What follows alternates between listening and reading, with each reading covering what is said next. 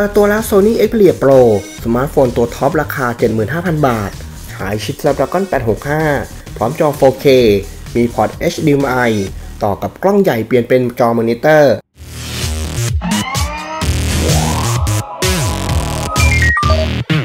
เปิดตัวแล้ว Sony Xperia Pro สมาร์ทโฟนตัวท็อปราคา 75,000 บาทใช้ชิป Snapdragon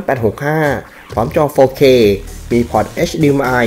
ต่อกับกล้องใหญ่เปลี่ยนเป็นจอมอนิเตอร์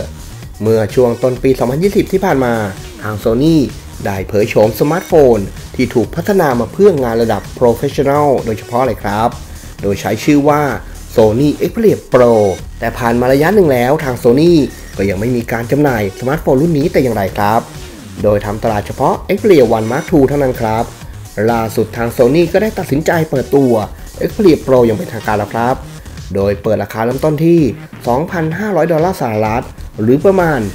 75,000 บาทครับ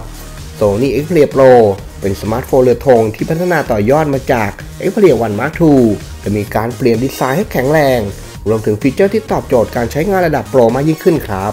โดยมีหน้าจอแสดงผลขนาด 6.5 นิ้ว เป็นแบบ HDR OLED ความละเอียดระดับ 4K สัดส่วนการแสดงผลแบบ 21 ต่อ 9 โดยมีการเพิ่มพอร์ต HDMI เอาไว้ที่ด้านข้างของสมาร์ทโฟน เพื่อช่วยให้ผู้ใช้งานสามารถเชื่อมต่อเข้ากับกล้องของ Sony Alpha เพื่อเปลี่ยน Xperia Pro เป็นจอมอนิเตอร์แยกได้ด้วยครับ นอกจากนี้ทาง Sony ยังเพิ่มความสามารถในการเชื่อมต่อ 5G แบบ mmWave และ Sub 6ช่วยให้ผู้ใช้งานสามารถไลฟ์จากกล้องถ่ายภาพระดับโปรผ่านสมาร์ทโฟนได้โดยตรงเลยครับ ส่วนสเปคของ Xperia Pro คือใช้ชิป Snapdragon 865ให้แรมจัดเต็มถึง 12 g b กดล้อมให้มาที่ 512 g b รองรับหน่วยความจำภายนอกแบบ micro SD card ความจุสูงสุด 1 TB รันด้วยระบบปฏิบัติการ Android 10 ตั้งแต่แกะกล่อง ให้กล้องหลังมาทั้งหมด 3 ตัว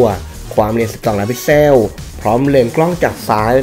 สมาร์ทโฟน Sony Xperia Pro จะวางจำหน่ายที่ประเทศสหรัฐอเมริกาก่อนเป็นที่แรกครับ โดยมีราคาอยู่ที่ 2,500 ดอลลาร์สหรัฐ หรือประมาณ